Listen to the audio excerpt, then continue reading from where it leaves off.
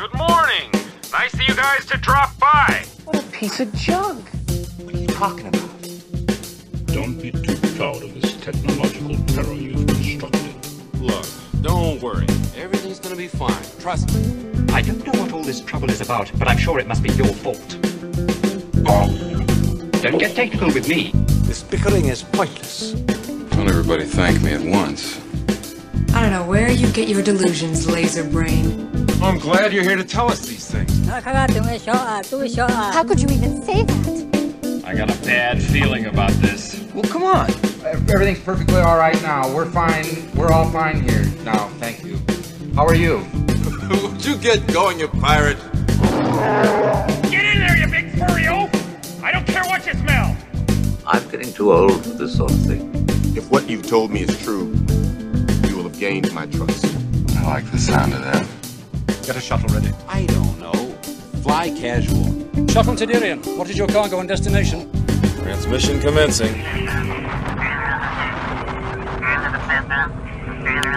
Boop, boop, boop. Hey, everybody. Thanks for tuning in once again to the Shuttle Tydirium podcast. I am your pilot, Jim Chadwick, also known as Hey Chadwick on the forums.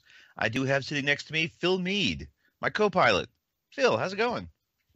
It's going well. Uh, everything is, is uh, operating at peak efficiency today. We've uh, gone through some recent uh, additional Ewok purges, uh, but I think the the new crew is uh, getting uh, getting their uh, you know Ewok business together. They, The new surviving crew. Correct. Yes. This this only the strong survive. Yeah, or the clever, but not too clever. Um, Right. We also have our uh, head of human resources, uh, Jbot. How you doing, Jbot? Uh, I'm doing pretty good. I'm just waiting for our uh, new Death Squad trials to complete, and then uh, we could uh, find some new members, or you know, get rid of some and find some new recruits. Hopefully, you never know. These are You know- an ongoing flux. It's a lot of turnover in this uh, in that division. If we, um, if the uh, the course wasn't so rigorous and had such a huge uh, turnover rate, we might, um, we might have like an elite commando team on our hands, like a, a whole, you know, company of elite Death Squad Ewoks. But I think the uh, the trials and tribulations to graduate is a little too uh, too severe for most. Well, But you what have, makes them gotta so have good. standards. Gotta have Yeah. standards. That's right. If we start letting in some that aren't quite up to snuff, then where does a slippery slope lead? You know, next thing you know, anybody that kills a stormtrooper with a rock gets in. We just can't have that. because it is frightfully too easy. All right, you know, I have to say that now that we're recording on, on the mornings, that our level of enthusiasm kicking off is taken down a little bit of a notch. So, so maybe it's actually good that we have a bit of a jazz intro, so we can be all mellow once it starts. But um, all right, so I have a captain's question. Um, and I've been playing uh, the little app Star Wars Force Arena, where you get little guys run around and shoot each other. You play against real people, and I got a little upgrade um, and inspired me for the captain's question because I got Zuckuss as a backup for Dengar. Um, and basically, is who is your favorite bounty hunter? So out of all the movies, you know, extended universe, all that, whatever. Who is your favorite bounty hunter? And uh, Phil, I'll go to you. Um, I think that uh, Zuckuss and 4-LOM probably are uh, my my favorites. Uh, I like the, I like to imagine like they have a you know um, funny uh, rapport between them, like a like a almost like a good cop bad cop, or like a lethal weapon type. Uh, partner. buddy cop movie Buddy, it's a thing? they're a buddy cop. They're a buddy bounty hunter movie waiting to happen. Yeah, they've got to have some witty banner between them because, Exactly. but it's probably in a language we don't even know. Yeah. I'm just pulling up pictures of them because it's been a while since I actually looked at them. They're really weird. Yeah. Yeah. uh, Zuckuss looks like he's got a a, a bar, a Browning automatic rifle that's been modified to make it look like a Yeah, all those gun. all those Star Wars guns, man, they're all. It's funny how they, they always modify uh, real real world guns. Uh, sometimes just a just a little bit, and then Yeah. give them to these guys. Yeah, we probably had so many World War II props laying around. Yeah. Yeah, they probably uh, had so much equipment they weren't even props. There's just so much stuff that was left lying around out there. It was easy to get a hold of. Went to the dump. Oh, let's grab a couple of these. All right. A little bit of, you get a little bit of that with the uh, newer movies too, like Rogue One. Um, Cassian Andor's gun is uh, built off a M16 uh, receiver. Is it? Yeah. Yeah. Uh, Even the I'll pistol. take a look at. Yeah, the pistol is like the. Uh, I think it would be the receiver uh, of the uh, of an M16 or. Yeah, I, I see that. That's pretty cool. I never noticed that. Huh. I've only seen Rogue One once though, and I feel like I've only like seen a lot of previews or something. I just feel like it's not complete. Like I haven't quite seen it enough. But at this point, it's been a month. I don't know if I can get anybody to go back to the theater with me, but uh, yeah, I want to see it more. Only once. How many times have you guys seen Rogue One? Uh, I've seen it twice. Yeah, just the one time. I rarely see very many movies in the theater more than once. I think I can count those on like one hand, less than one hand, really, that I've ever done that to. Yeah, I think the last movie I saw that way was Episode Seven, but I think the Star Wars ones are are worth it. Dredd. That was the last one I've seen twice in the movie theater. Had half of mine to go back and see it a third time. What was it? Dredd. The I newer one. know that one. You don't Uh, know not with- Dredd? Not with Sylvester Stallone, right? Yeah, not Judge Dredd, just Dredd. So, Carl um, Karl Urban, right? yeah, yeah, yeah. Which is a very, very, very good movie. I'm very, very, very disappointed they never made a sequel to. But uh, here's hoping one day Hollywood will get its head out of its collective butt and actually make a good movie. Dread 2009. Three college students set out to document what the other dread the most. no, Is that it? that does not sound like it. No. I guess it's Judge Dredd or something like that, or one of those Dread type movies. Yeah, Well, D whatever. R E D D. You know. yeah, yeah, it's got two D's. You probably spelled it wrong. Oh, of course. yes. All right. Uh, well, moving on. J Bot, who is your favorite uh, bounty hunter? Uh, well, I could go. Obviously, there's a million different options. I could go completely off kilter, which is my standard way of doing things, um, or I could go with the classic, or one that I've recently thought would been would have been hilarious had they played it this way. Um, but uh, my favorite, obviously, is is Boba. Without knowing really in the movies, you don't really know too much about him, um, or at least the originals, you don't really know too much about him. Um, I'm really hoping that come the Hollow, uh, Han Solo movie, that they give him a lot more screen time, a lot more kind of uh, uh, time to show him being, I guess, the the character that the expanded universe is, is kind of all uh, made him out to be. Um, and not sucking.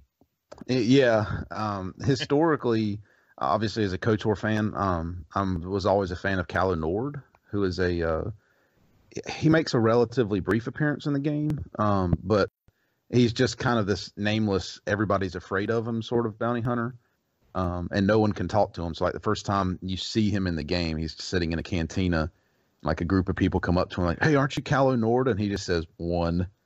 And like, no, no, no, we're just trying to figure out two. and then if he ever gets to three, he basically guns you down. Um, and uh, so the first time you talk to him, he starts that too. Um, you eventually, obviously, get to to fight him later on in the game when you have an actual chance of defeating him. Um, but recently, um, I think what what ran me onto it. Uh, most people listening to this are probably familiar, or at least vaguely familiar, with Robot Chicken.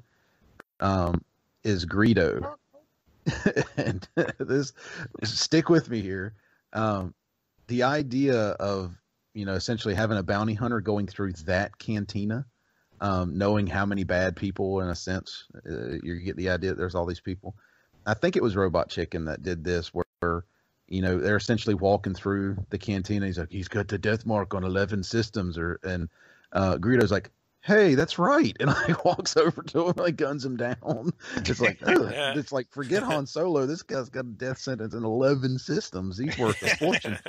um, I'm like, man, that how much better would Star Wars have been if that's what it was? Like they're sitting there at the table and he's like, what did that guy just say? you're, you're free to go, Han. I'm going to go take care of this this problem because he's he's had his arm lopped off, and uh, he's Yeah, not really got a chance to defend himself.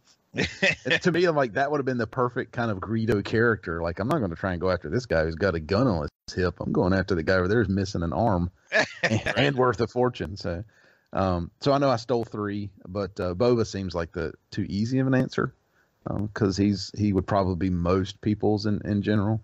Yeah, yeah.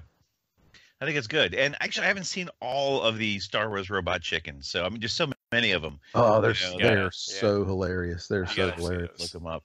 Yeah, I've just go on them, YouTube and spend an hour or two basically watching robot chickens from the uh, was it Gary the Stormtrooper um, up through uh, Emperor Palpatine, essentially ordering lunch with the people, just working as a generic guy in an office ordering lunch uh, with the office mates.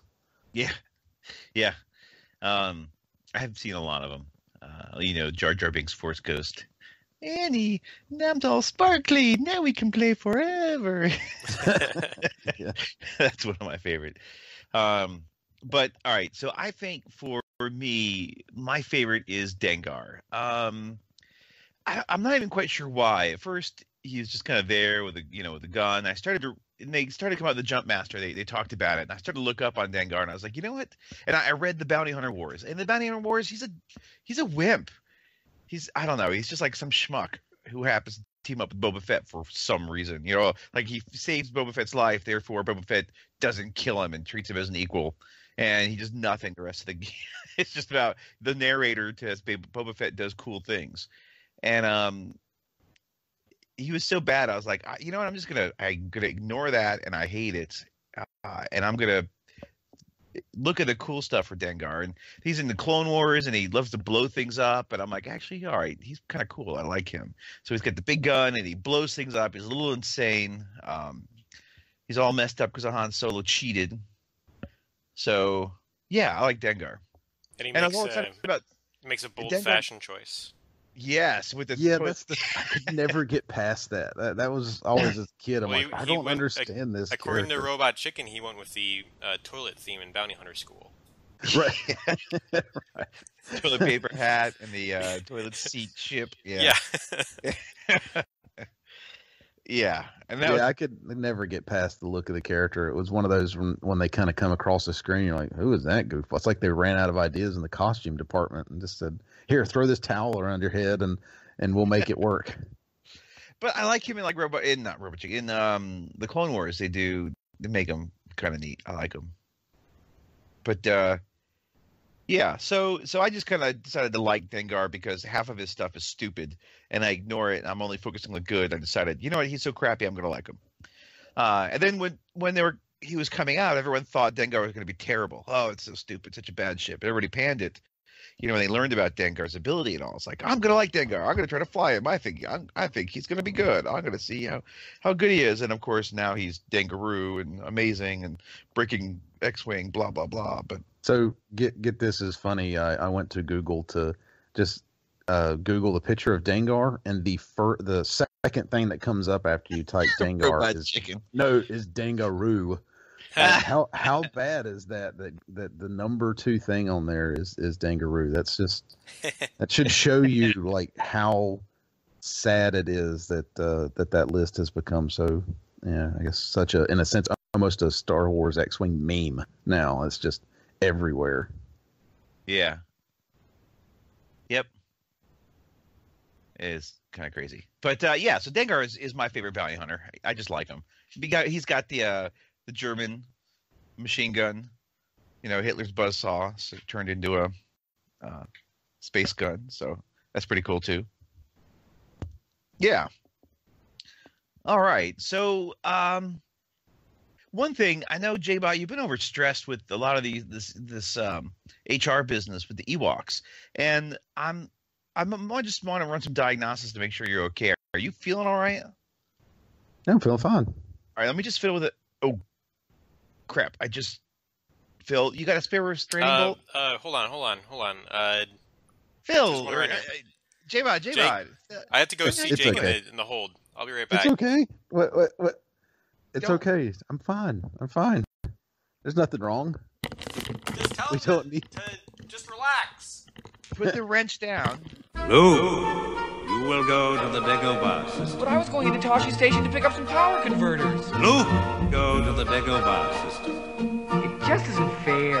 No, I don't even know what I'm doing here. We're wasting our time. Your insight serves you well.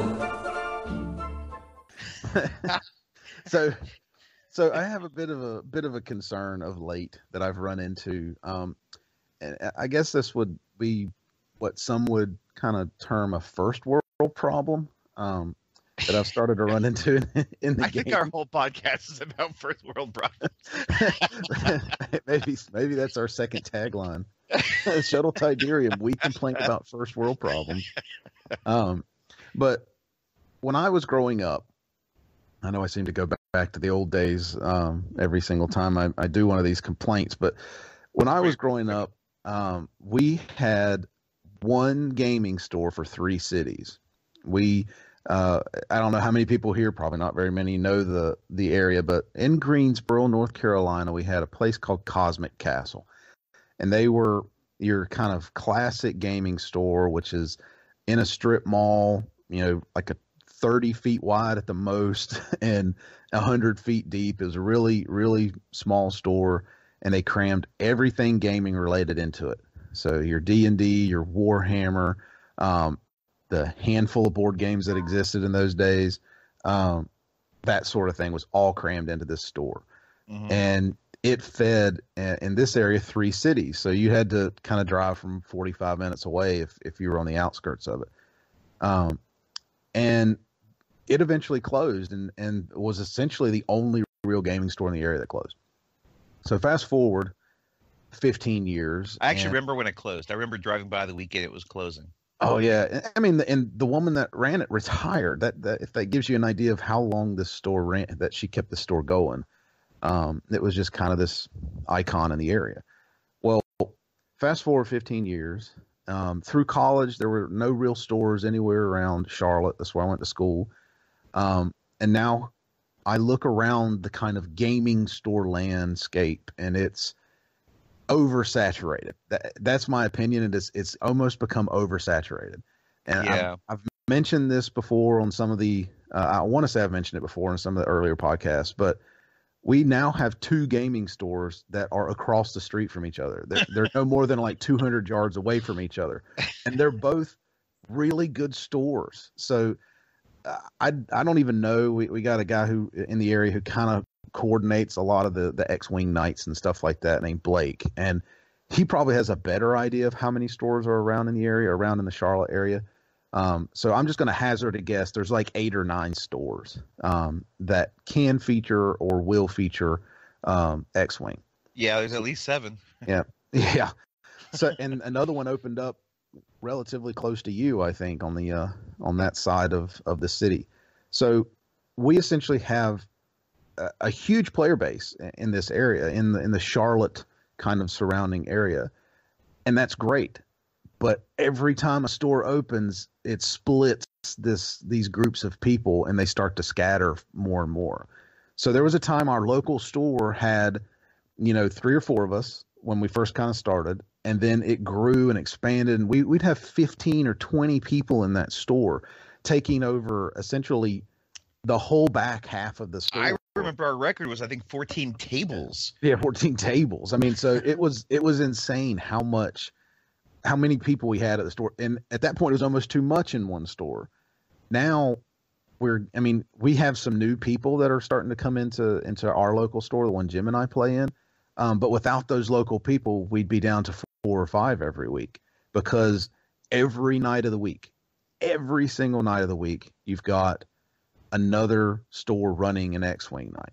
And that's and, great and, for the game. I don't and like there's traffic and people living on yeah. different sides of town, and like right. traffic is pretty crazy at times with yeah and construction and highways and mm-hmm. and and I don't so much complain about that. I, I, like that everybody has something as an option close to them. But what really is starting to bug me is not being a tournament fan every one of these stores is having a tournament either every Saturday, every Sunday, every second Saturday.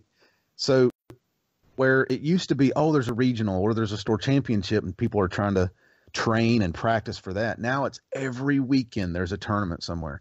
And some of them have leagues opening up. So now people have to go to a certain store to play in a league game, and the league game is is essentially a long form tournament.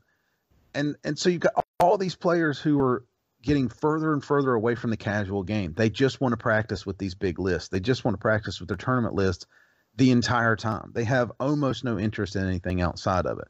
So we set up Mario Kart in our store and it's cool and we have fun and they'll play their tournament behind us and come over and look at it and then they'll walk away because it's not tournament related. It's not they gotta practice. They gotta practice. Yeah, they, they gotta, gotta practice. And and there is a point at which practice doesn't help you anymore. And I don't know how well, exactly what the turn of phrase is for people, but you know, if you're practicing bad habits, you're just practicing to be bad.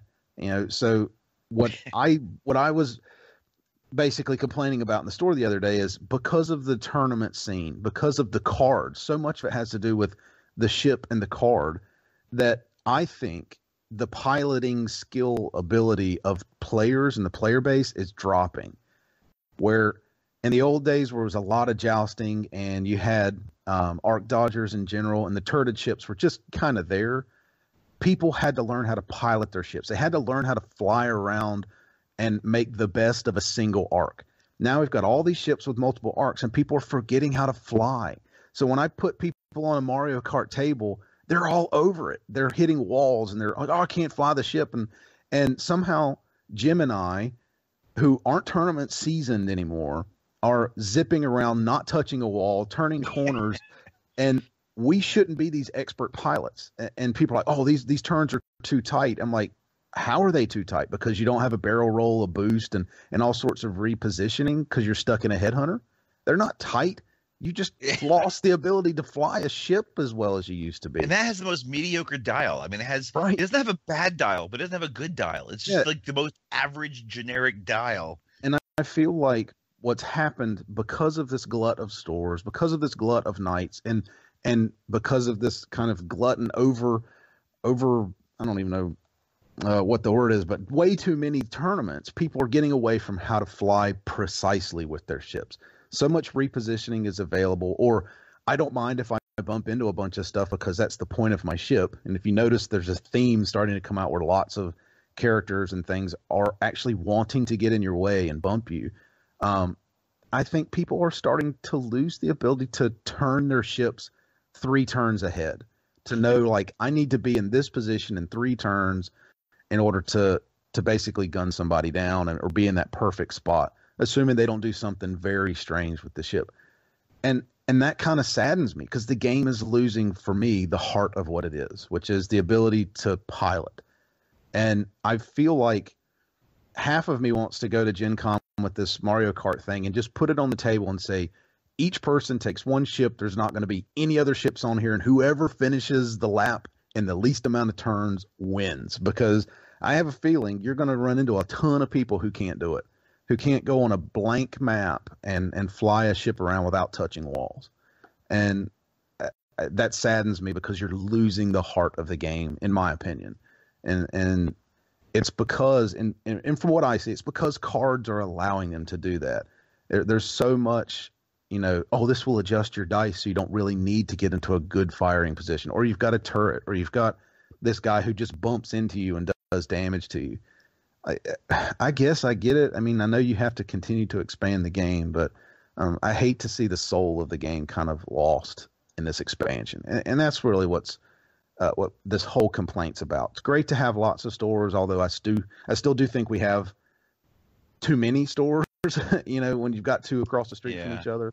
Um, but at the same time, it's great to have those options. Um, and it's great that the stores are are bigger and lots more players and they're dragging in more players and that sort of thing. But I feel like all they're doing is dragging in players to a tournament scene, and then brand new players are learning how to play for tournaments, not for this uh, kind of piloting ability. Um, and yeah. I've said, and I said that when when when we have new people and they ask me like, oh, I just I can't get used to the turns. I can't get used to like how sharp the turns are, how far they go. And I've always said from from the early days, this is what I did. I, I took a handful of pennies and just tossed them across my dining room table, and then for an hour basically flew my ships around them with the goal of not touching the pennies. And because of that, I got really, really good at judging the distances, you know, on your turns and, and everything. And yeah, I don't think people do this anymore. I think they just take ships out of the box, throw them on the table, and then just try and learn the turns and try and learn the the arcs and that sort of stuff from. Uh, I from can tell you just in the middle of a tournament or in the middle of training for a tournament, and I think that's why the skill is starting to fall out of the game. For Mario Kart, you don't want to do that three bank most of the time. You end up wanting to do a two bank because a three bank will over will go take you too far and pointing the wrong direction, and a two bank is going to be much better for you.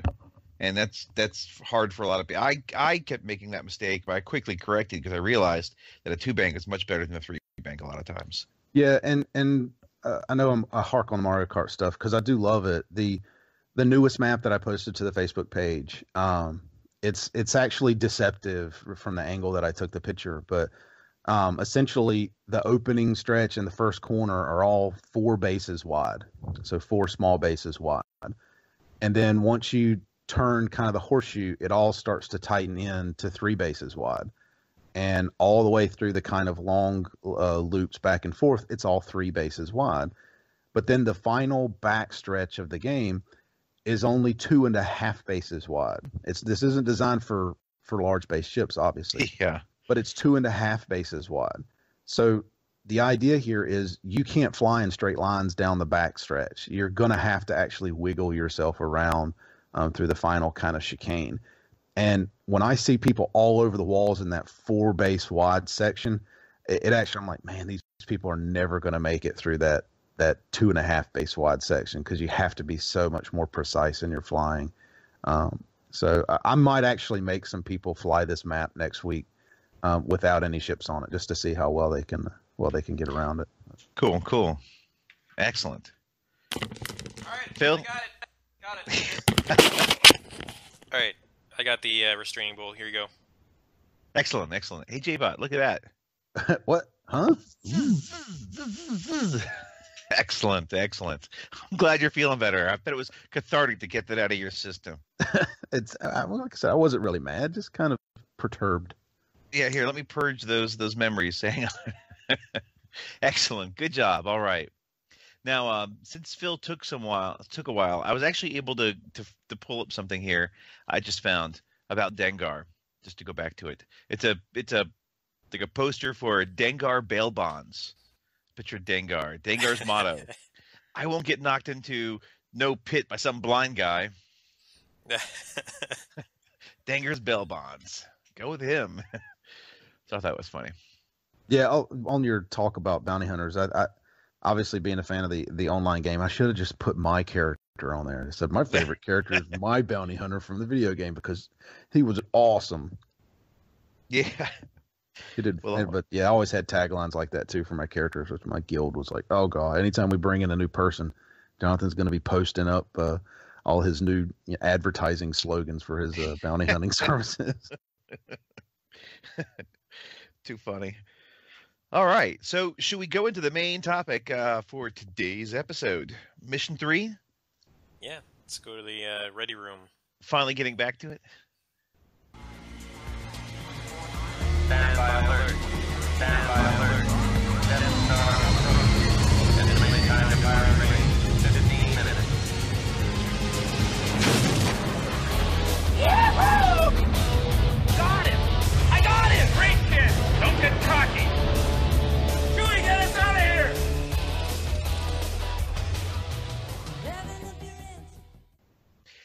Yeah, so we haven't done actually mission three.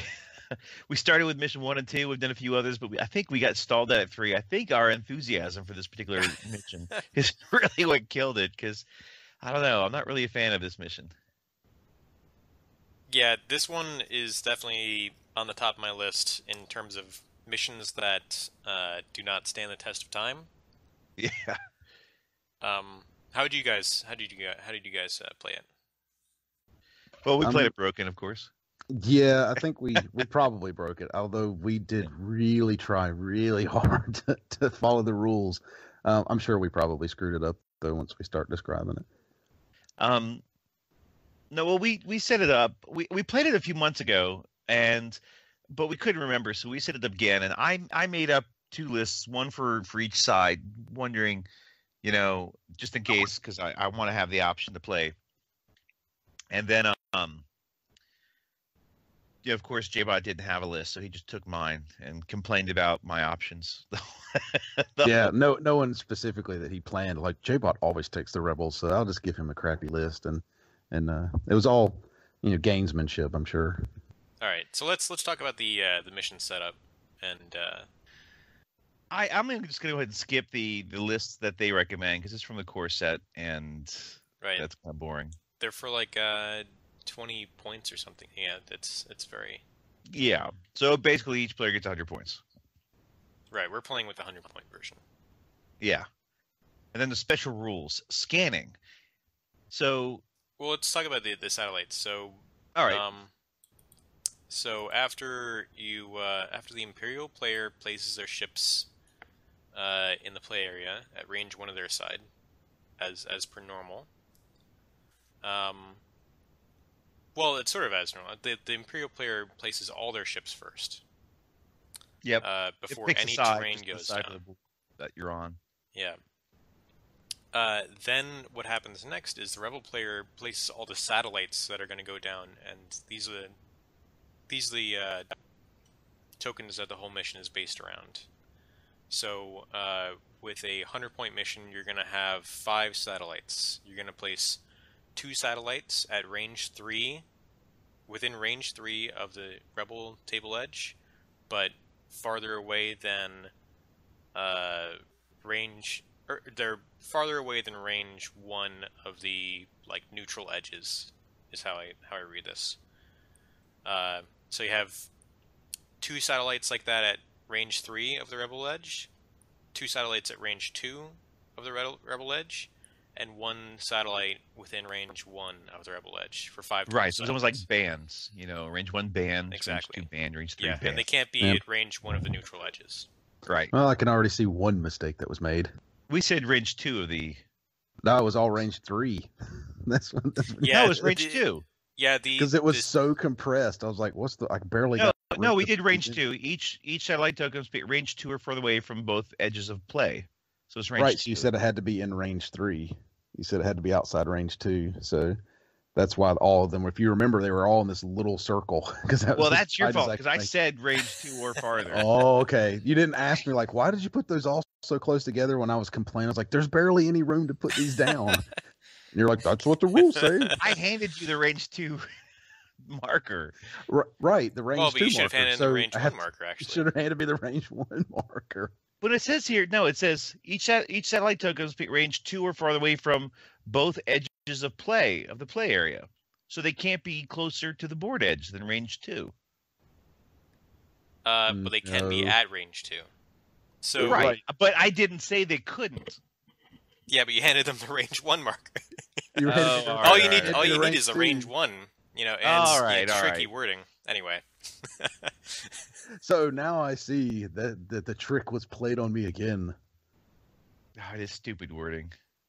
Just give me the restrictions. Don't be at range one. That's what you need to say. Don't be at range one, not range two or further. Uh, Yeah. So okay. So I call shenanigans on this one again. ah, We, no matter how many times we read these things, oh, I don't think it made right. that much of an impact, though. I do. I mean, they were literally. It's like, oh, I'm going to sweep past this one and straight into the next one and just do a nice U around around the set of them because they're they had to be so close together inside that little kind of box, and they're stuck at those band, you know, inside each of those bands that they're like. I literally had to put one on the back edge of the map in order to get the other four into the into the uh into the map where we had our little zones. All right. Okay. All right. And then, uh, then I assume the uh, rebel player places their ships, right? Um, Uh huh. Does it actually say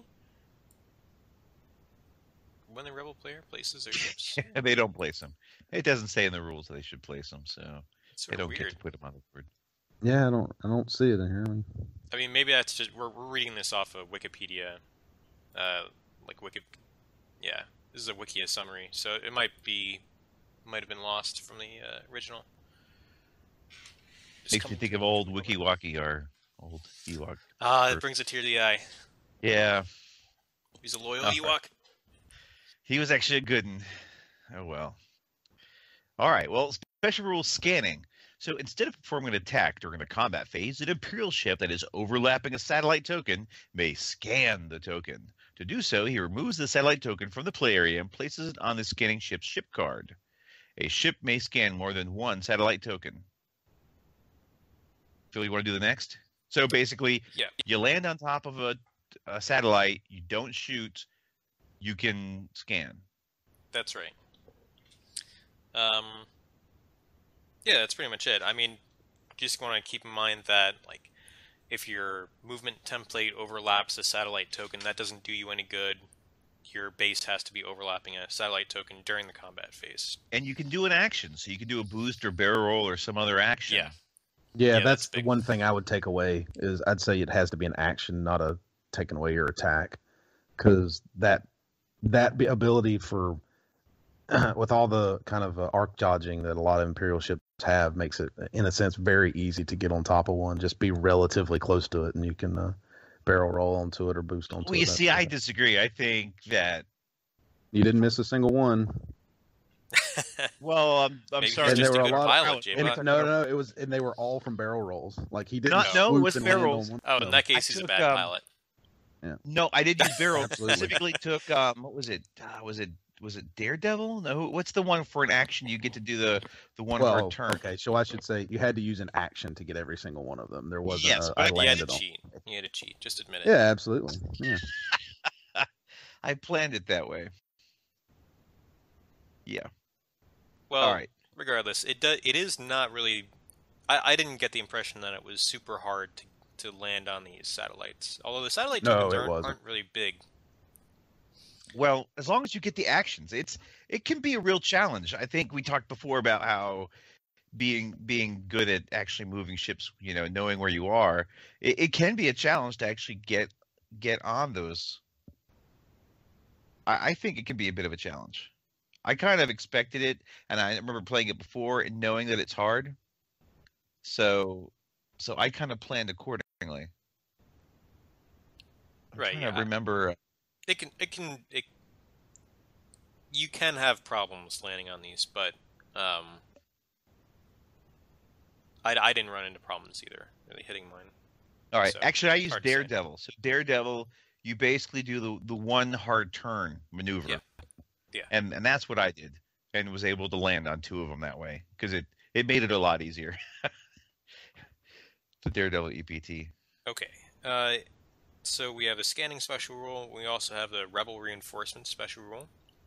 This one. Oh wait, wait. There's still more for scanning though. Oh, you you weren't done with the scanning. Okay, so No, no, no. the next part of the scanning is uh, if a rebel ship is overlapping a satellite, then an imperial ship that is touching that rebel ship, which is overlapping the satellite, may scan the satellite as if the imperial ship were overlapping the satellite. So you can't just block Yeah. a satellite by you know hogging up the the real estate with a uh, rebel ship base. The anti-blocking rule. Yeah. Right, and it actually makes it easier for the Imperials to scan the satellite because it's much easier to block, to you know, land on a, a ship than it is to land on a satellite. Yep. I'll go with that. And that if an Imperial ship is destroyed after scanning, um, then return all satellite tokens, um, get them out of the game. So basically, if let's say you've got one ship and it scans all of your the satellites and then it dies, you lose the game, so to speak. Right. Um, I'm not really sure how.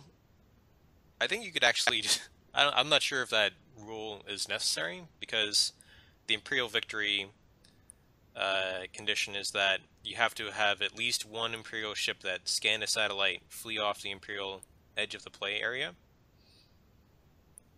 Right, but I, I guess basically. Um, So if you've been destroyed, you're probably not going to flee off an edge. So Right, right. But if you're the destroyed, they don't go back to the table or, or anything. That's what that is.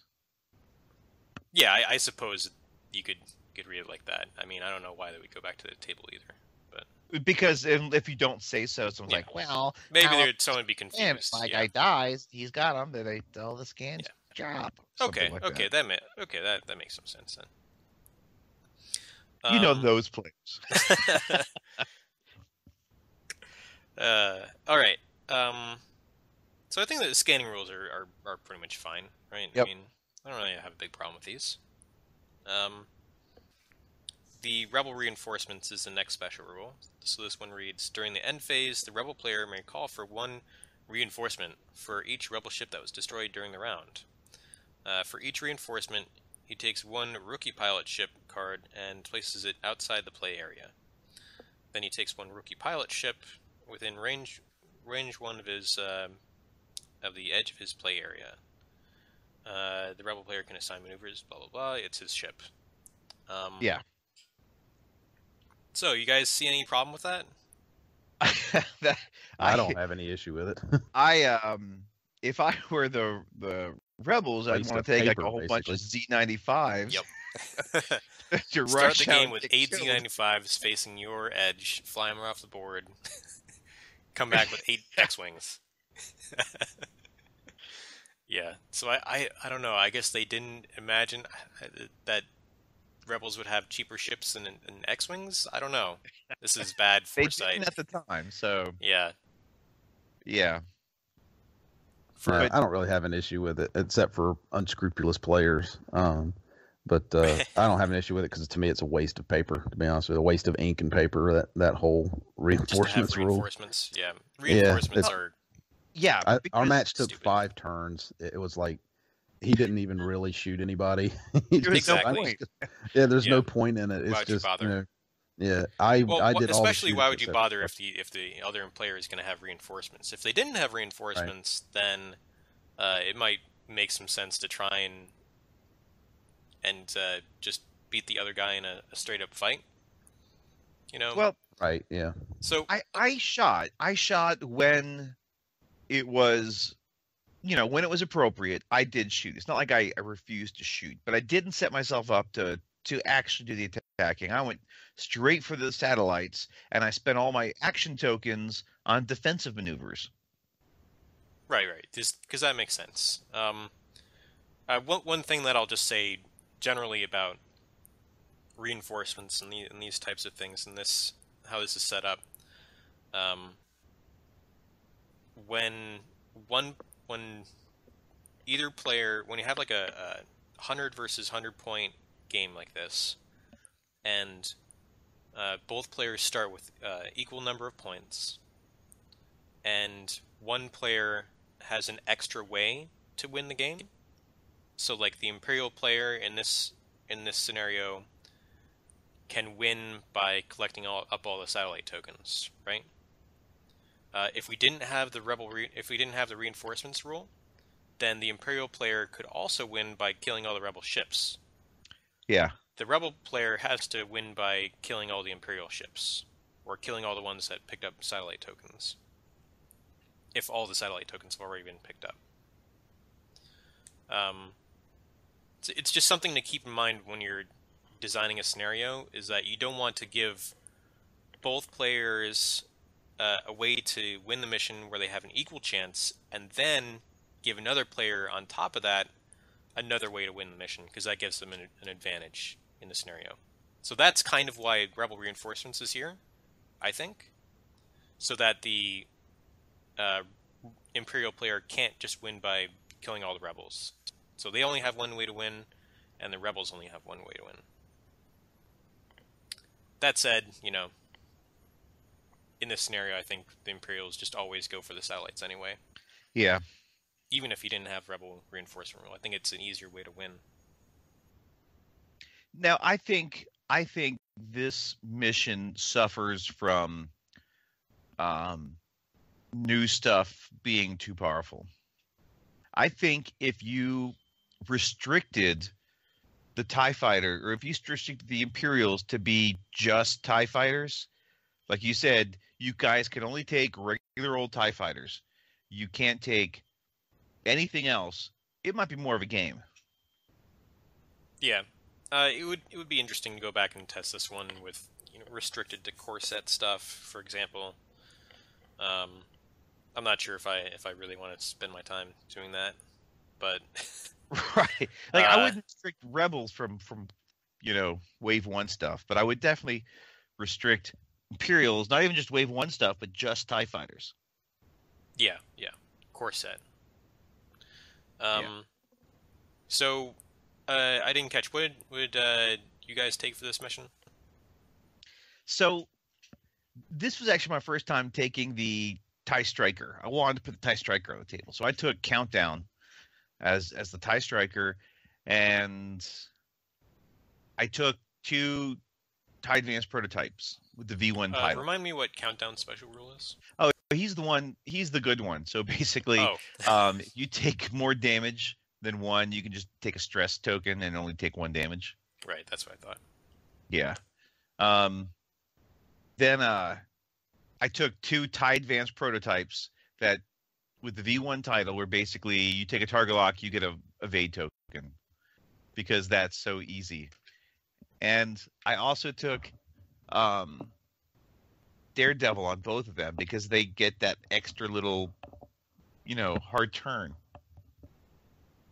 And then I took just some Tie Fighters. Okay, and So- what did, uh, what did J-Bot take? Oh, I wrote that list for him. I'm trying to remember.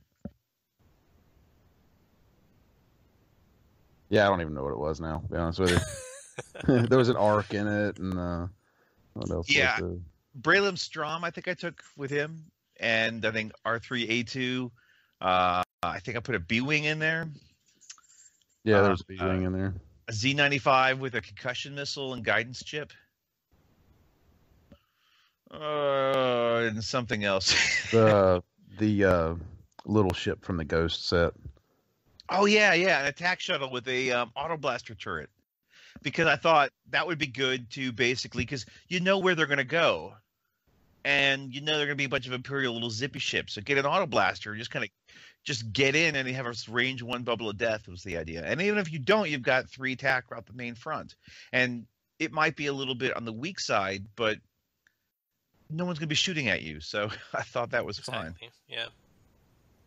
Yeah. yeah, that's an interesting idea to sort of just maybe like mob one satellite token and um or just you know create a try to try to prevent the Imperials from picking up one or two satellite tokens because you can prevent the Imperials from winning because in order to win the Imperials need to scan all the satellite tokens they have to pick up all the satellite tokens off the board and then they need to escape with one of their ships that scanned a satellite that has a satellite token. Right? Yeah. So if you But- can prevent the Imperials from picking up one or two satellites and, you know, killing off their ships in the meantime, you can win as the as the rebels. Yeah, we um he put one satellite token on the board edge, touching his board edge, which was really hard to get to. In my first pass, I missed it, and I yeah, had to he do my that was the only one he had any struggle with, but uh, he got it on the second pass. So. yeah with Daredevil.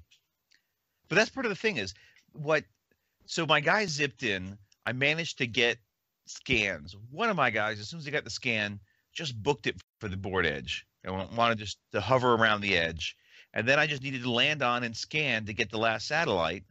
And as soon as I had them, those other guys can die. That one person who scanned it was waiting by the edge of the table edge and could just run. Right. I was just I, I just thought of a way you could really uh, game this uh, scenario with the with the rebel uh, with the rebel list. If you took two uh, large base ships and put them facing each other in front And of bumped. the in front of the satellite token that is on your edge, but in a way so that maybe place the satellite token sideways and then place your ships so they aren't actually overlapping the satellite token, but not leave enough space for a small ship base there. So you see what I'm saying here? You You're basically you're- blocking them. You're blocking them without blocking it. You're not. You're blocking it You're not without touching it. overlapping it. So the You're Imperials would have to kill those ships first, which means they would have to stick around uh, longer than they That's want to. that's pretty funny. it's pretty funny. Yeah, that's. I mean, it's an exploit that they wouldn't. They obviously didn't see, but I mean, you could theoretically the do that. You don't even need the large base ships. You can technically do that with two small base ships. I mean, I really, guess if you had them at an angle, I mean, well, if I mean if they go one, they can't pass each other. oh, that's true. So you could say, I'm just going to take a bunch of Y wings and put put two covering the Blaster front. turrets. Yeah, with auto blasters, two covering the front, and then the another pair of them essentially banking in or not banking in, but hitting into the sides of the uh, or the back sides of those two, and just put a little bubble around the last one. Say, come on in, guys. You're you're welcome to. the water's uh, fine. Yeah, just I mean, you could put almost anything on at that. Two auto blasters and two TLTs, and then uh, Yeah. just come on at me, guys. I got plenty of plenty of guns pointing out, but uh, it's kind of a cheesy fortress. Oh, definitely. This is super cheesy. It would be rather funny, but uh, might be my only chance of winning this scenario. Well, I think if you force the Imperials to go with only TIE fighters, then the Rebels have a chance. Because I think part of it is you've got to have enough firepower to just knock out Imperial ship after Imperial ship. Mhm. How about how about you take two Y wings with TLTs, so they cost 24 points each, and then you take you fill up the rest of the list with Z95s, and you fly the Z95s off the board. Come back with X wings. Uh, how many X wings could you get like that? Probably four X wings or so. Probably four X Yeah, wings. probably. Yeah. So you have Yeah, four X so. wings and two TLT Y wings guarding the the last satellite. You might be able to win as the rebels like that. Yeah, just just feeding uh, X wings to the to the Empire side. Just basically, oh yeah, you killed one. Whoops, here comes another one, sort of thing. Just Right. don't even. The Y wings just play defense, and the uh, and the X wings just swoop around, dying and, and Uh, doing whatever they can. Oh Jesus! I mean, you could. Oh my God! Actually, there's no way that the Imperials could win because, okay, say you've got your two Y wings or whatever, blocking the the satellite, right? Facing each other, blocking the satellite. Um, what happens when those Y wings die? Yeah, they get X wings. You get X wings. Yeah, they come back as right X Wings. right in the same exact spot. Yeah, so you you just keep can't parking ever clear to- that. Just keep parking two X wings right over. it. Oh my God! That's, that's pretty funny. and that and that is something that could have happened. Uh, you know, That yeah, could have happened in the original game, in the or I guess set. in the You original can do that core in the core set. set. Yeah. So Yeah, but nobody thought like that back we've, then. we've the. Everybody wanted to fly the ships back then. They didn't want to Right. park them and play fortress. Fortress. Yeah, they didn't have fortressing back then. Only a few people that uh, got ostracized from the uh, fandom pretty quickly would actually fortress back then. It's, uh, Yeah, so that's crazy. I I'm not, not too much of a fan of this mission. No.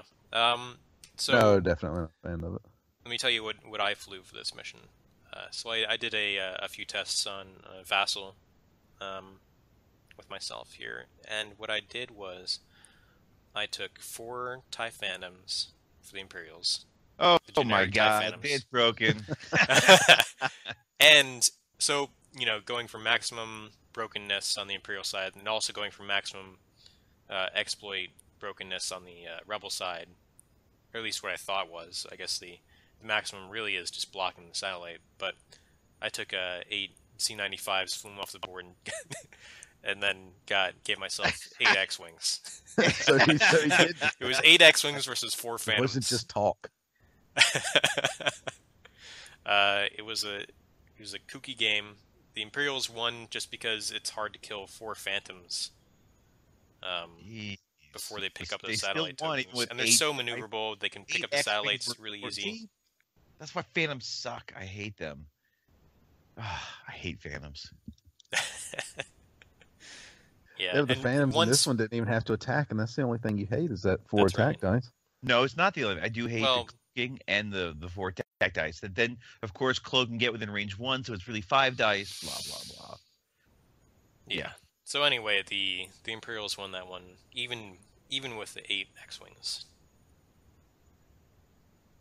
So that's That pretty. just, that that's just pretty shows gross. even how utterly broken Phantoms are. It's just because the the Phantoms they, Yeah, they they only just needed like one or hit. two turns to for all those Phantoms to pick up all those satellite tokens, and then the X-wings cannot chase down and catch a Phantom that's trying to escape because he just decloaks straight to and does a, a straight forward maneuver and then cloaks. I mean, if we take,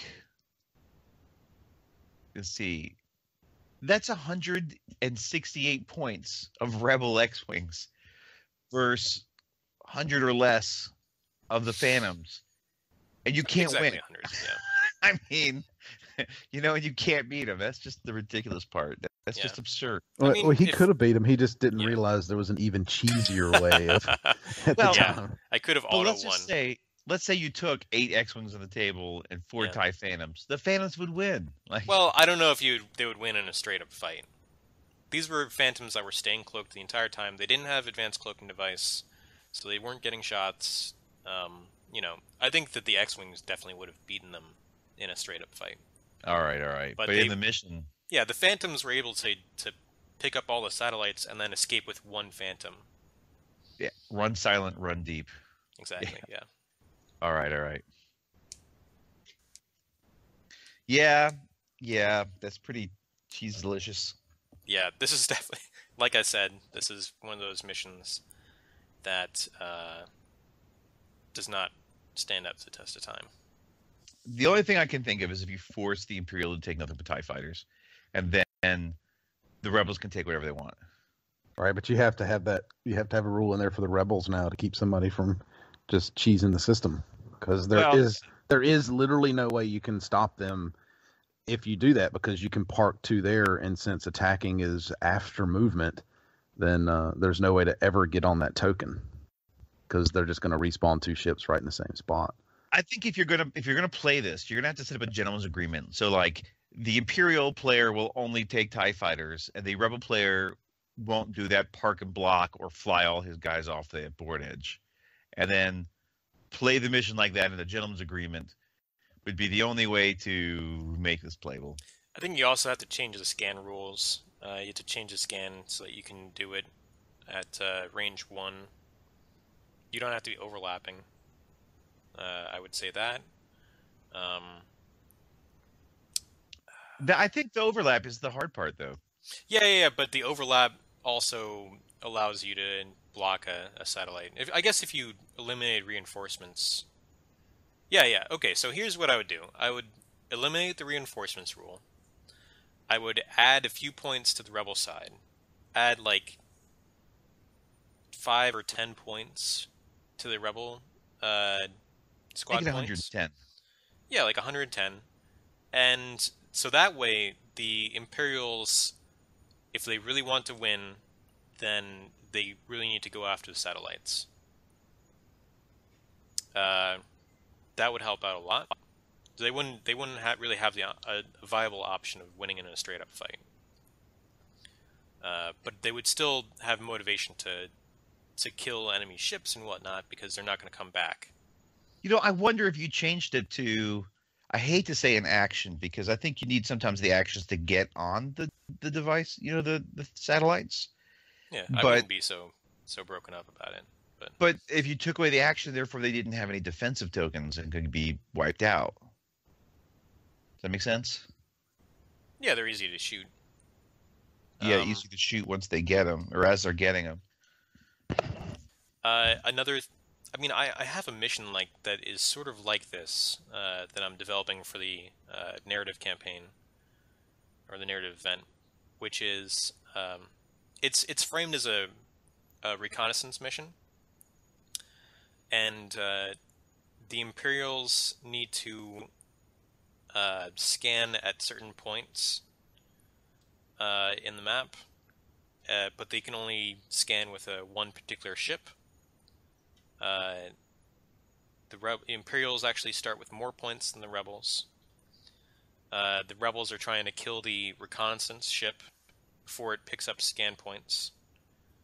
Uh, and the Imperials are just trying to prevent that and pick up as many scan points as they can. Um, it's it's similar in that it's it's all about getting to some spot on the board and uh, just pretty much just getting to a spot on the board, right? That's it's the same underlying mechanic. Uh, Yeah, getting somewhere and scanning. yeah, yeah, that comes up often in uh, in X-wing scenarios. Yeah, I think maybe making it range one to scan, and then scans in action would actually make it deadlier to the Imperial forces. It, it'd be easier but deadlier for them to do it. So it'd be kind of more of a challenge. as as you know in this scenario as written the imperials losing their attack is really no no great loss to them No consequence. Yeah. Yeah. So what do you think of those changes, J-Bot? Oh well, I'm. I just don't like the the general scenario because there's nothing to entice the Imperial player to do uh, anything other than what you did, which is run across, get one of the first ones that you can, and have that ship just tear off across the the map, and then well the other one's just suicide for the other Right. Yeah. There's there's really nothing to prevent that short of the, the rebel player either being cheesy or um, being able to tear through all of the other. I mean, because you could do that in a sense with one Tie fighter. So you might have you know 80 plus points that you have to dig through uh, with your 100 points uh, uh, before they can land on uh, stationary targets while you're moving because there's nothing to allow the the uh, rebel player to park. Like he can't park and hover on something. And the really the closest he can do is uh, essentially a, a hard two circle around these things to just kind of circle one. So short of like circling the wagons around one of them and and just you know tight or basically telling the imperial player you're going to have to go through three or four ships that are just in a nice little circle around one of them um, I don't really see any good way to make this uh, Well- uh, make this super. It, it, to me, it doesn't feel balanced. I guess is what I'm getting at. So, oh, I take away the action of the Imperial players. Well, that gets rid of an evade or a focus from. i would say there's definitely a way to balance it you you can balance this mission you can fix those exploits you can balance the mission i'm not sure that you can make it fun Th- those are right maybe maybe things, that maybe right? that's what i'm after is that it's like if you say oh i can scan at range one but i have to give up my action to me that's easier to, to do to get to range yes, one of one of these at the things Same time, so here's the thing, though. So your your big concern is is not being able to defend against the closest one to the enemy, right? No, it's not even that. It's that you have in a hundred point game, you have two of them that are out at range three, right? So uh, your your ships, if you fill out and you have five, I think is what you had, five or six ships that you had on your side. Um, if you have five or six ships, you can run essentially one or two at, at the at those front two, and still have another one that's spare. Um, well, let's put it this way. Let- Let's say you've got, if you limit the Imperials to just Tie fighters, so we're talking between like six and eight Tie fighters. See, that's even worse. Like that. That's the thing. But imagine is- this though. Imagine if the rebels had like 110 points. You can get like five X-wings for that. You know, or even more Z95s or a combination thereof. So that if you had enough ships to actually rush out and meet the first wave of TIE fighters, worst thing you could do absolutely worst thing you could do is to rush out and try and meet these things in the middle of the table because tie fighters are faster. They just blow right by you and you're going to get one pass. Well, I mean, but it's, it's a pure joust. closer. it's a pure joust at that point. Like i have to kill essentially four of these things on the way through and then turn around and kill what's remainder on the way back. Like so i'm, I'm getting essentially two passes on these on the on the ties. So, so to me, the thing is, if you've got enough ships on the defense for the rebels, that you could actually go out to meet them, at least some of them, meet them at least on one of those, uh, you know, satellites. Is that if you can block them from just getting that one and zipping back to the line? The the thing is, when you get then, if you get within range of one and you have to spend your action to scan, you're probably going to be toast because at that point there's enough rebels on the table that somebody can light you up. yeah Because I- if you've got no defensive know. action, yeah there, you've there's got some of the like, dice, no modified. Uh, sorry. Um, I think that some of the, the core problems are just how you win uh, as the Imperials by escaping with one of these ships. Um, with just one ship that scanned a, a satellite.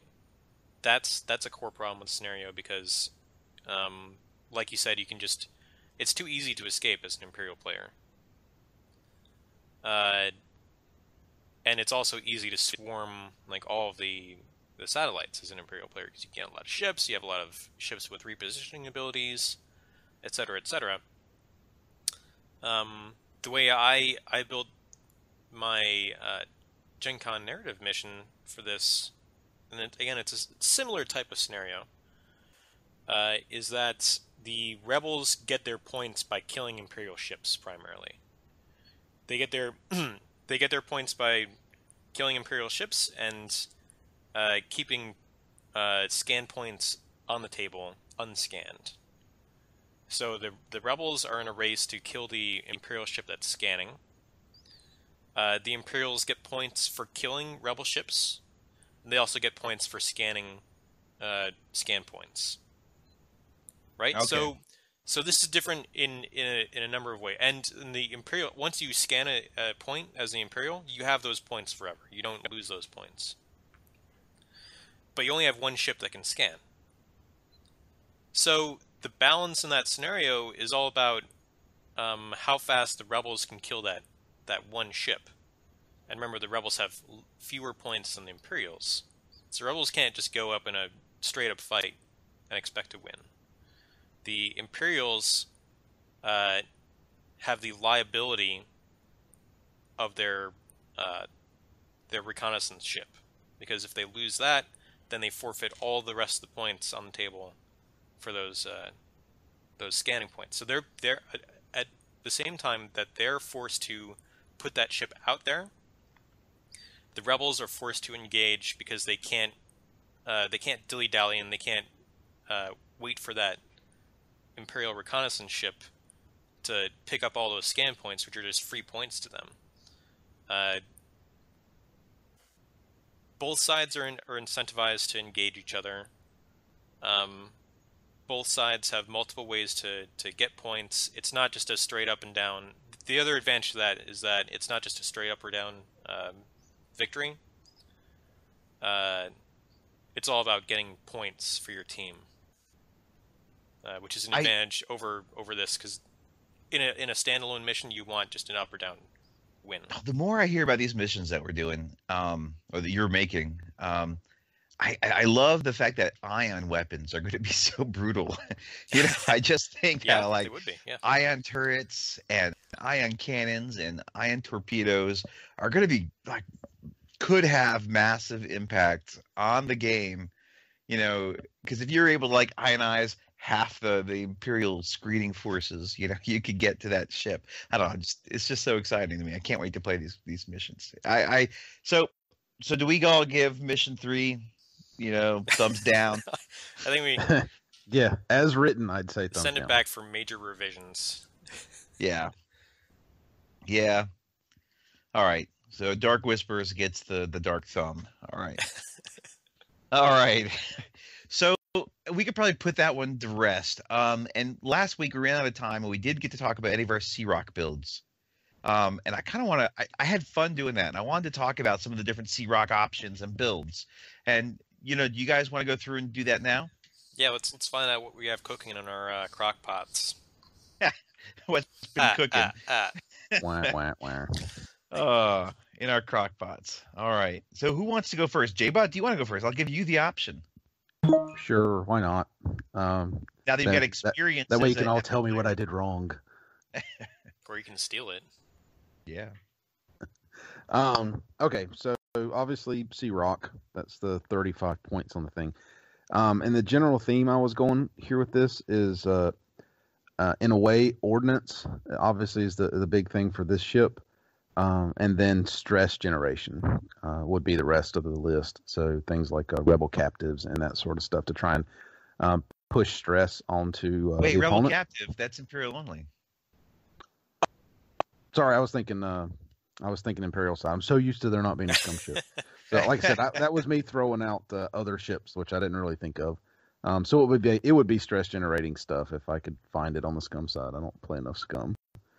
Um, but uh, uh, ordnance tubes and uh, homing missiles. That's kind of the the uh, central piece um, of the ship itself. So its offensive capability would be the ordnance tubes and homing missiles.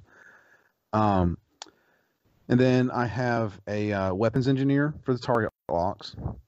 Um, so I guess theoretically it could fire out two a turn. Is that right? If I'm doing that math right. Yeah, you get Um, two uh, two darting locks. And so Yep. you'd be able to fire out one per target lock, correct? Yeah, Well, but no, you can fire you can fire each hard point once, is what it is. Oh, okay. So, okay, that makes sense. Either way, But So the you have another target waste. lock out there. you have options. you That's do. important because So you're the next be turn- by your target locks. The next turn, you can spend your action doing something other than getting a target lock. Right, I understand that, but it, he was on there not really fully understanding that I can only fire one a turn. So, um, so like I said, y'all can tear it apart as we go. Um, I'd put uh, frequency jammer on there, um, for the additional stress every turn. So if I use the, I think it's the jam, um, action. that Super jam, put- yep. Yeah, it puts a stress Yeah. on somebody. Then the frequency jammer essentially lets me put a second one That's right. um, onto another ship.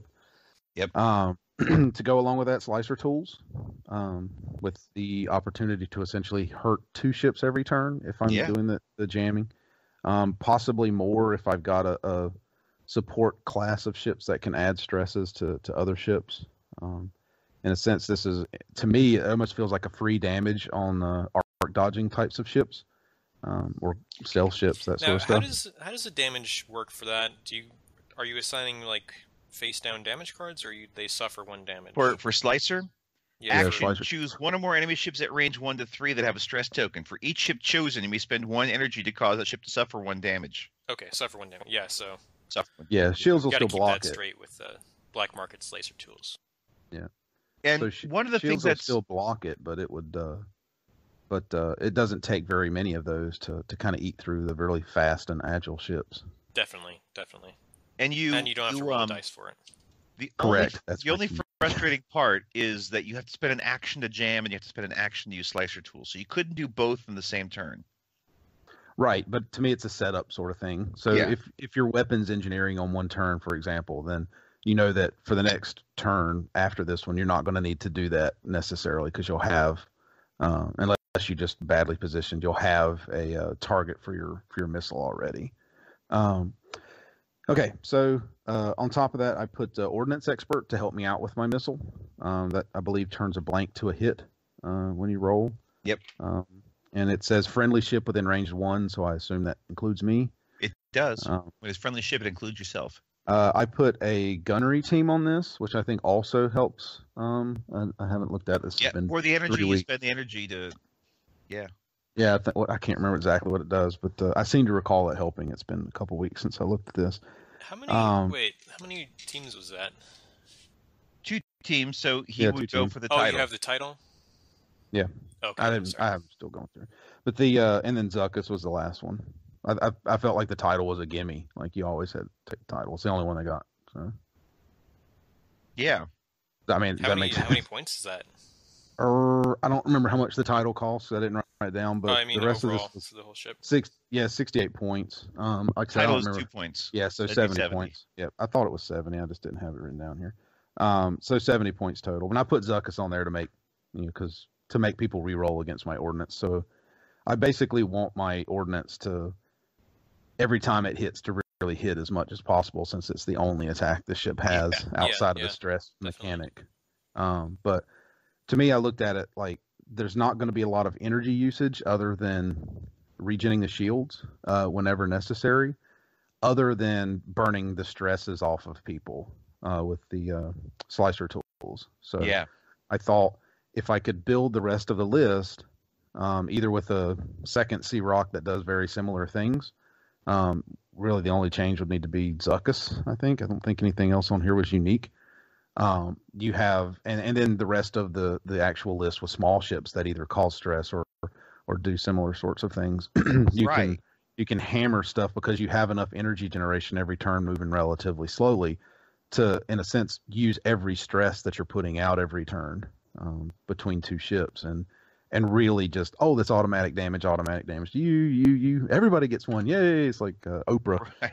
And uh, and then of course I have a homing missile just you know just to just to piss people off. That's going to be really hard to dodge because of Zuckuss and uh, all the dice modification that that the rest of the crews and things give it. So and your the rest of your list, you can put things like tacticians out there, or you can put out thermal detonator bombs on Y wings. Oh, You know, I forgot. I did put cluster just- bombs on there just for giggles. Um, Yeah. just just because I was like, oh, you never know when you're that might be the perfect play, for example. Yeah. Um, just You oh, can look also- at all this stuff shooting behind me at range one. I'm just going to use a cluster bomb and ruin their days. You could even use flechette uh, cannons on some heavy Scyks just to go out there and throw some stress out on people. You know, normally you would That's, think, "Ah, yeah, that's true. cares?" But That's that is very true. Like like I said, I didn't really delve too deep into the rest of the list, um, but that would be my goal: is to essentially go with stress-causing ships, whether it's uh, flechette torpedoes and and flechette cannons, that sort of stuff, or um, if there's crew, I'd have to look through the scum crew to see. Um, but that sort of thing to really just kind of mess with uh, uh, the stresses and use the the C-ROC as a missile platform that's using most of its energy to to pop these stress uh, points on people. And I, I mean, it's it's conceivable the thing could do two to three points for free every turn just from the stress. Um, just you know, Well, jam. not every turn. Or, well, I Almost guess you're, you're handing yeah. out stress. Well, yeah, because Yeah. it's just stress. Like if, if you're not having to regenerate, you're like, hey, I'm giving you a stress and you a stress, and at the same time, the stress is really messing up ships. Yeah, Uh, if you're slow rolling and other things are giving out the stress, you can spend your action spending your, you know, three or four energy a turn to dish out Correct. damage to people, and you don't need Yeah. the energy to fire your weapons. So Right, right. So that's that's the idea, and and the the jam ability to give somebody two stresses is is really powerful to me. So Jamoni, yeah. yeah, you can yeah because you can hit in a sense of like a pal basis, you could hit one of these guys that's flittering all over the place and really ruin his day um, with two stresses because it's going to be really difficult to clear to clear that and, and continue to dance around um, every turn. So Um, it sounds cool. Uh, I, I guess if I if I were to offer criticism, uh, I think it, it's probably overloaded. I think, you think Oh yeah, I- the problem Yeah. you run into with these is if you want to put them in an epic list, you have to have the things loaded down for bear because I don't know. I mean, 130 points. I don't if think you're have to have a seventy point C-ROC to have a, a functioning ship on the table. You Well, definitely no. have to put something on it. No, what I mean is like if you play with the non-official FFG rules for for Oh. epic, for Yeah. you have to get to 130 points in in epic ships, then you're either running three of these things or you're running two of them that are really heavily loaded.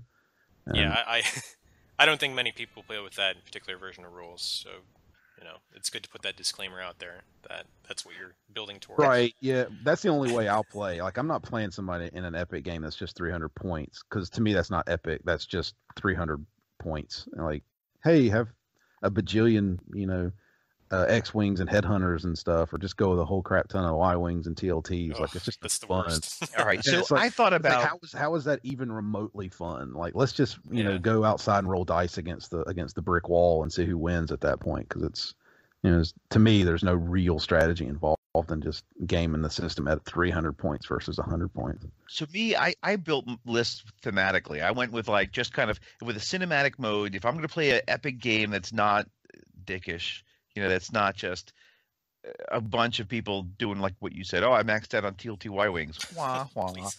You know. don't do that, guys. Please don't do so that. yes. So basically, if if my other opponent's going to be bringing a fun epic list, and I'm going to bring a fun yet effective epic list.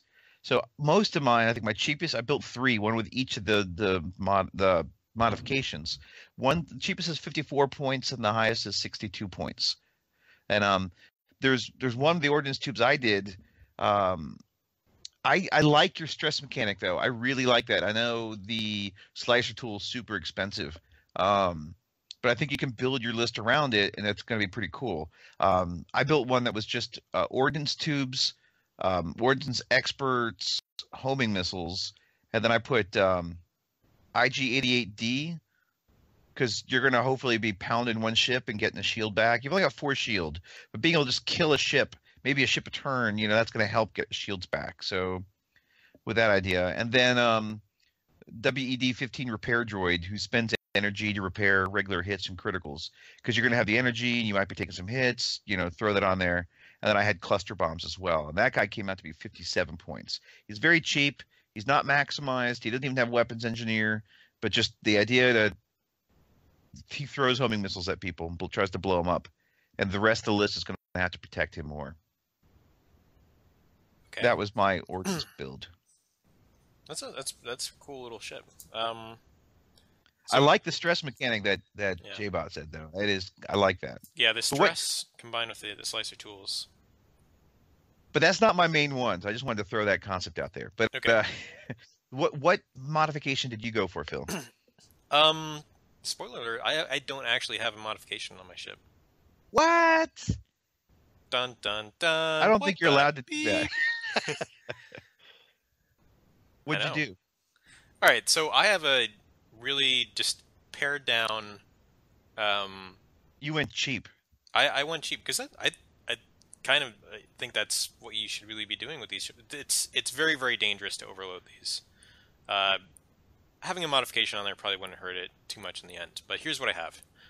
Uh, I've got uh, heavy laser turret, which is the uh, gun that comes with the ship. It's like a, Yep.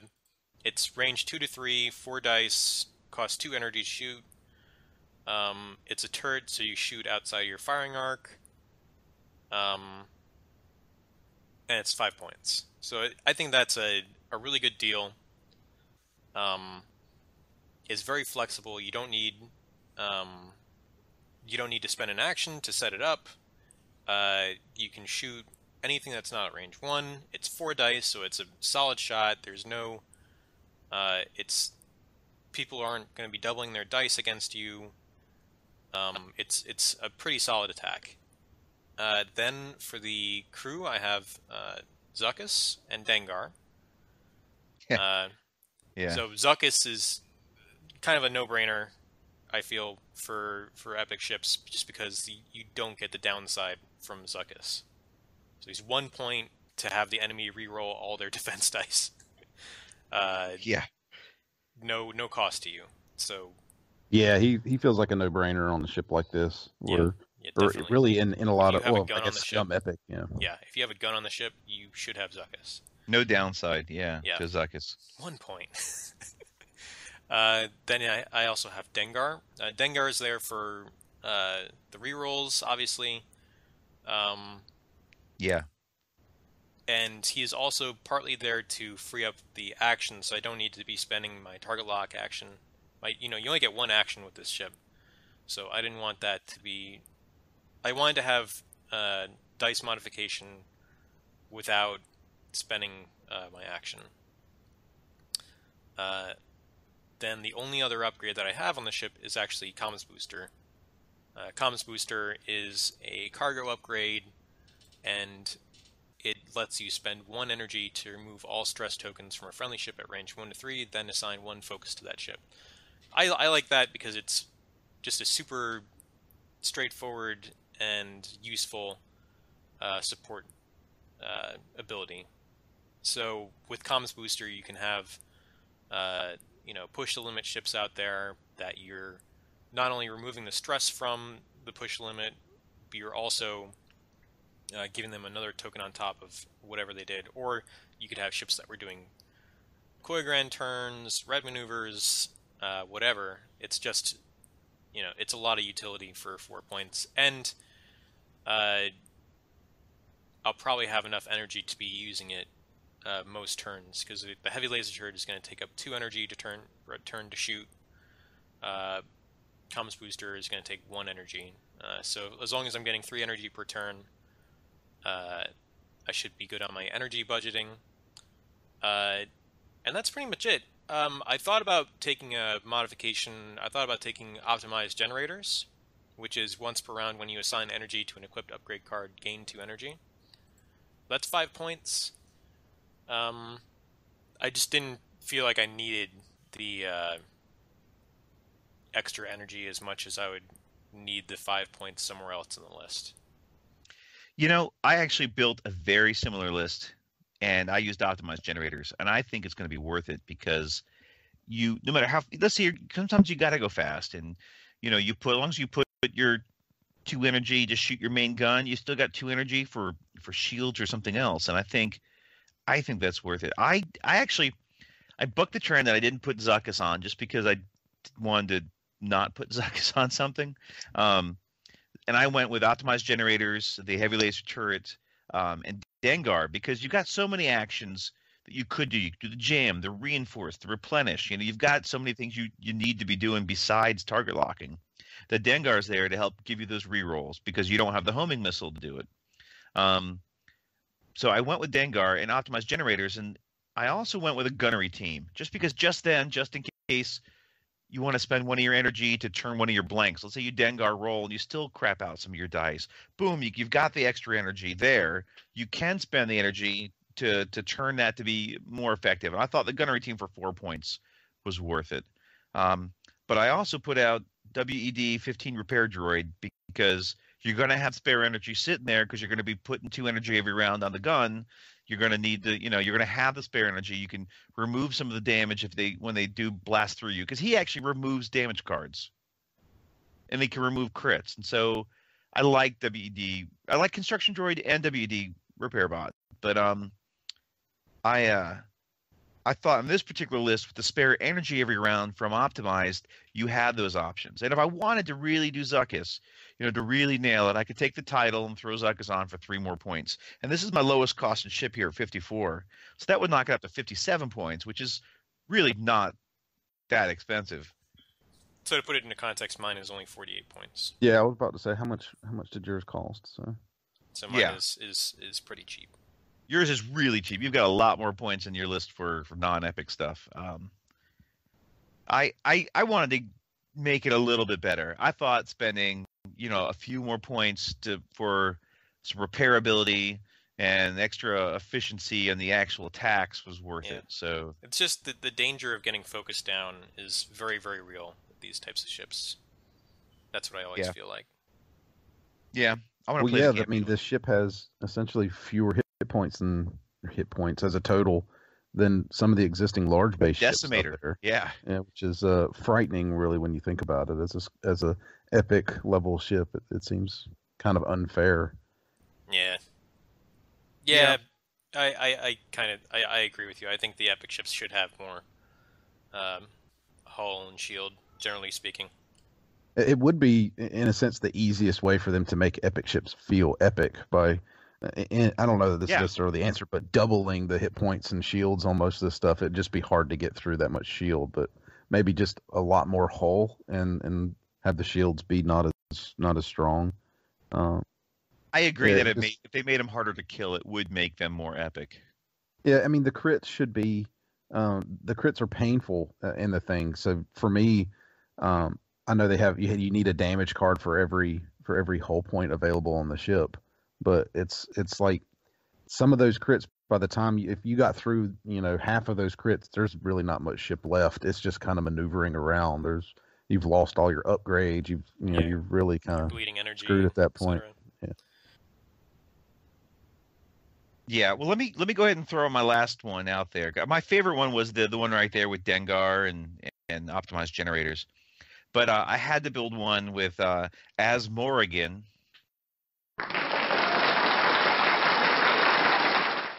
So I actually said it right. Yeah, I was uh, waiting for somebody to build one with the the uh, much maligned character from uh, our last discussion. Yeah, so I liked him. So I wanted one. So I, I After all one- that talk, I'm like, where where's this guy at? Right. I, I put him on this one because I do like him. I do think it's decent. Automated protocols, huge ship only. Once per round, after you perform an action that is not a recover or reinforce, you may spend one energy to perform a free recover or reinforce. So that one will have the ability to throw out, you know, the reinforce and do other things, or throw out the, you know, the replenish. But um, I went with Azmorigan, and I went with the Merchant One title to get all the different teams targeting coordinator, weapons engineer, and sensor team. I went with that because I like that. I think it's a good combo. So you can get out there and throw out the target locks to the Y wings nearby, you know, then switch those teams out later on. And I went with uh, Tibanna gas and heavy laser turret. So, you know, the Tibanna gas you'll need it later when you get hit. But um, this is a ship that's meant to kind of stay alive to be uh, you know the Swiss Army knife with the swapping out the different people. It's meant to do more than just kind of be a cheap thing, not to just be destroyed. So he's got Azmorigan and stuff to dish out, and he can swap out for almost anything, and that's why I went for this guy. And I think this ship, it's 62 points. Oh, it's got the heavy laser turret. I'm not sure if I mentioned that, but it's 62 points. But I think it's got a lot of different options and tools that you can kind of configure and do stuff with. And you can keep it alive, and you can do crazy maneuvers. You can throw a Greedo if it works. You know, all that stuff we talked about. And I think this is a decently pointed tool that would work. Cool. Um, do you think that's the most flexible you could make it uh, before, um, you know, not taking Azmorigan into account, or you know, planning planning to have Azmorigan switching out stuff? Um, I feel like you would uh, want to make sure that you have the existing hardware on your ship uh, flexible in terms of it working with everything else that you might want to swap in. Does that make sense? Yeah. So I started off with a four point crew and a three point crew. Yeah. Yeah. So I started off with some nicely priced crew. I've got the Tibanna gas if I need the energy for something on later on, you know, because there's some things you need. Like if I need to swap to remove a critical, I can swap to WED repair droid and do the Tibanna gas and burn off those crits and hits, you know, as actions. Or I can, you know, for whatever reason, or if I need to do the shield replenish really badly, or I've got I've got the tools with the with the two most two, the four and a three, because there's no other real fours that you need besides the targeting coordinator. So I could downgrade some of those without too much of a penalty. Like if I needed to downgrade, like I could keep weapon engineer at the three and swap it down to a two, or keep that as a three, drop to four down to the two. You know, it's it's got the options there to just to start switching around for various people. And the teams can swap out for um, engineering if I need more energy or um, weapons weapons team if I need to, you know, targeting team. So I think this is that that ship that we talked about in the last episode at 62 points is not too expensive and he can do all sorts of crazy stuff. You're only limited by your own imagination. Yeah, So- it, I, I mean, I, I like the ship. It's got so many things that it that it has as an option. I- It just concerns me that it's going to see even less play than almost every epic that's out there because, oh, you can't play it according to FFG in a normal game, even though it's priced cheaper than some of the ships that exist out there for a normal game. And then um, there's not enough kind of scum support to put with it, as in there's no other epic ship to get it into that 130 point band. Um, and as soon as you say, "Oh, you don't need 130 points," no one's going to even bother taking this thing. They're going to take, Well, okay, okay. you know, 60 points worth of other ships that they can be nasty but I with. think but I think that's a temporary thing until they come out with the bigger scum ship. I think every every faction is going to get the small epic and the large epic, and this is just the first one they've got out until the bigger one comes. It's just a matter of time, you know, until the other epic ship comes. I think also a lot of people don't think enough about cinematic play. In other words, like one person makes a bunch of lists or builds a crazy scenario, or you just throw some cool sh- stuff on the table, you know, and play what looks like a fun game. Like I, the thing that gets me is there's a lot of people that are like, oh, I really wish it was epic tournaments, epic tournaments. We need more support for epic. And I'm kind of like, I don't want to do an epic tournament because that's just more points to pull out the broken toys. Like, I don't want the tournament concept. It's like play games that are more about having fun than about freaking winning the prize. Epic metagames, uh, from what I've seen, can become so crazy uh, and so gimmicky because you the combos you just have so much more room for combos. Yeah. And you And have just- so much more room to pile on the super efficient stuff like the so you get you know lists like super bigs, uh, Yeah.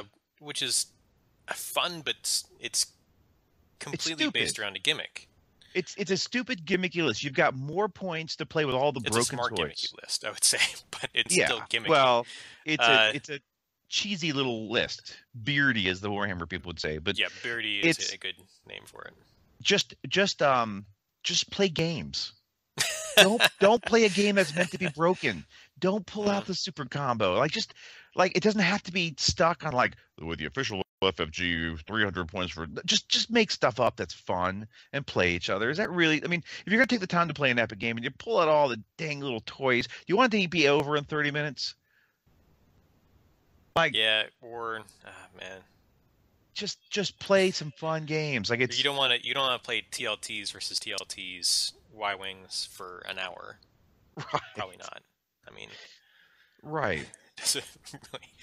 Uh, Just have some fun, smart games. Make generals agreements. Have one person make two lists. Something. Just like that to me is more fun. If you're going to play Epic, do that. Don't don't just build a beat stick to beat down the other opponent with some little some giant combo, I should say.